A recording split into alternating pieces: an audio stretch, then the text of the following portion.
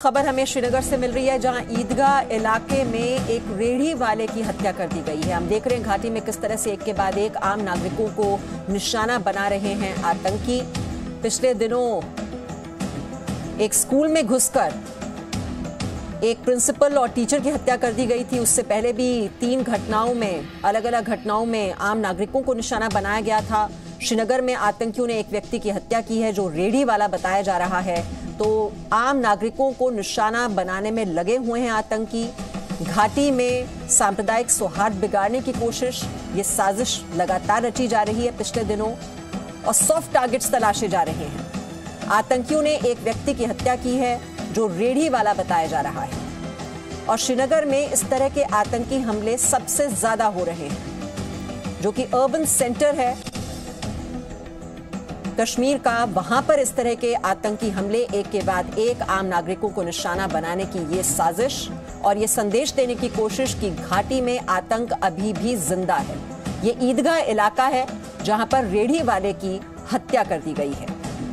हालाँकि आतंकियों के खिलाफ ऑपरेशन भी लगातार सुरक्षा बलों की ओर से किया जा रहा है। पिछली नौ मुठभेड़ों में लगभग तेरह आतंकियों को मार गिराने में सुरक्षा बलों को कामयाबी हासिल हुई है। तो लगातार ये ऑपरेशन चलाया जा रहा है, आतंकियों का सफाया भी किया जा रहा है, लेकिन आम नागरिकों को निशाना बनाने की कोशिश भी लगातार आतंकियों की ओर से की जा रही है। और डिटेल्स हम ले लेते हैं हमारे सहयोगी खालिद हुसैन। इस खबर पर और ज़्यादा जानकारी लेकर हमारे साथ जुड़ गए हैं। खालिद, क्या डिटेल्स हैं? रेडी वाले को निशाना बनाया गया है और क्या डिटेल्स? और क्या संदेश देने की कोशिश? कुछ देर पहले की घटना है ईदगाह इलाका जो श्रीनगर से डाउनटाउन में पड़ता है, वहाँ पर जो खबर मिली है कि एक लोकल स्ट्रीट वेंडर जो गोलगप्पे वहाँ पर बेचता था नॉन लोकल है वो और उसको जो है पॉइंट पॉइंट से फायर किया गया है और उसको तुरंत हॉस्पिटल शिफ्ट किया गया था, लेकिन वहाँ उसको शिफ्ट करा दिया गया है। ये काफ़ी के बाद है इससे पहले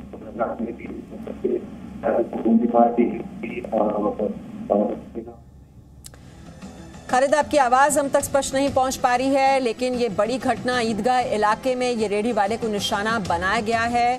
उसकी हत्या कर दी है आतंकियों ने और लगातार हम देख रहे हैं किस तरह से वहाँ पर आतंकी जो हैं वो बौखलाए हुए हैं, क्योंकि लगातार उनके खिलाफ ऑपरेशन चलाया जा रहा है, आतंकियों का सफाया किया जा रहा है। नौ मुठभेड़ में तेरह आतंकियों को मार गिराने में हाल फ़िलहाल, जब से हमने देखा है ये पुराना दौर लौटता हुआ घाटी में नज़र आ रहा है, तब से जो सुरक्षा बल हैं वो बहुत ही ज़्यादा एक्टिव मोड में आ गए हैं। उनके खिलाफ लगातार आतंकियों के खिलाफ कार्रवाई की जा रही है। तेरह आतंकियों को मार गिराने में सुरक्षा बलों को कामयाबी मिली है।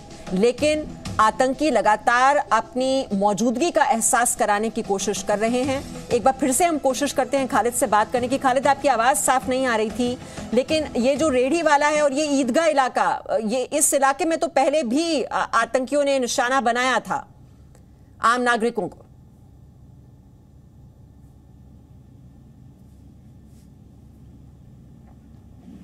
खालिद खालिद मेरी आवाज़ आप तक पहुँच पा रही है?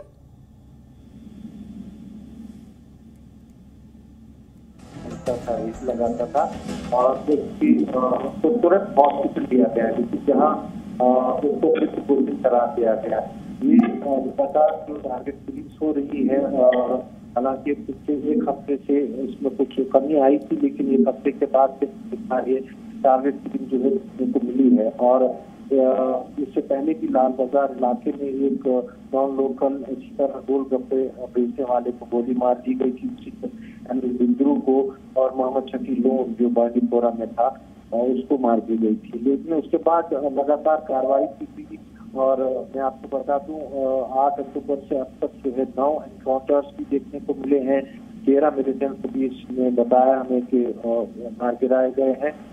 लेकिन जिस तरह से आज भी कश्मीर ने कहा कि सॉफ्ट टारगेट्स जो है, सबको सुरक्षा देना जो है, मुमकिन नहीं है। और ये सॉफ्ट टारगेट्स हैं जिनको जो है टारगेट किलिंग के तौर पर हमने देखा कि अटैक किया जाता है। स्कूल टीचर्स की घटना भी हमने देखी, जब पूर्व में उसके दो टीचर्स को और दूसरे टीचर को गोली मार दी गई। तो किस किस हिसाब से बड़ी चुनौती है सुरक्षा एजेंसियों के लिए इस तरह की किलिंग्स को रोकना? क्योंकि ये पता नहीं होता है कौन टारगेट है कब किस पर कहाँ पर हमला किया जाएगा। तो कहीं ना कहीं एक चिंता का विषय है जिसके लिए सुरक्षा एजेंसियाँ जो है मिलजुल कर एक नई रणनीति बना रहे हैं उसको काउंटर करने के लिए। और ये सारी किलिंग्स जो है बड़े छोटे हथियार से होती है पिस्टल से की जाती है जिसको कैरी करना आसान रहता है। तो निसंदेह ही एक नई चुनौती जो है सुरक्षा एजेंसियों के साथ। जी, बिल्कुल। टारगेट किलिंग्स का ये दौर हम देख रहे हैं और रेडी वाले को ही इस तरह से अब निशाना बनाया गया है, जो कि पहले भी हमने देखा, वीरेंद्र पासवान जो थे, वो बाहर से थे, जम्मू कश्मीर के रहने वाले नहीं थे, उनको भी टारगेट किया गया था। और अब ये भी जम्मू कश्मीर का शख्स नहीं बताया जा रहा, ये गैर कश्मीरी जिसको टारगेट किया है इस बार आतंकियों ने।